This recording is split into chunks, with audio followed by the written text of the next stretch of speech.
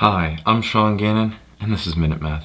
And today we're learning about how to divide a fraction. Minute Math, Minute Math. When you need help, you use Minute Math. We're given this problem right here. Divide and write answer in simplified form of 7 18ths divided by 14 over 27. Now, one thing we remember from before, multiplying or dividing a fraction is the same as multiplying the reciprocal.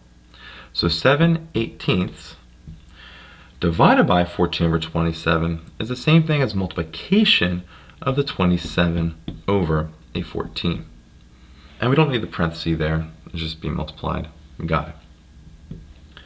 So let's go write this out. 7 times a 27. Remember, we multiply across the numerator and denominator with multiplying a fraction. And we have 18 times a 14 in the denominator. Now, let's see if we can break this down. 7 doesn't break down anymore, but 27 does. That is a 9 times a 3. Over denominator, 18 is a 9 times a 2 times a 14, which is a 2 times a 7. Okay, we got a lot of stuff that we can cancel out here.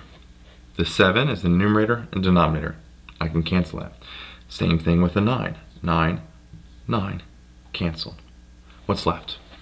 I have a 3 left in the numerator and 2 times 2 in the denominator. I don't see how that simplifies anymore. 2 is prime, 3, no, prime as well. So we, let's simplify now.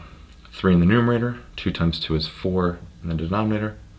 And after all of that, 17 divided by or 17 over 18 divided by 14 over 27 comes out to be a 3 fourths.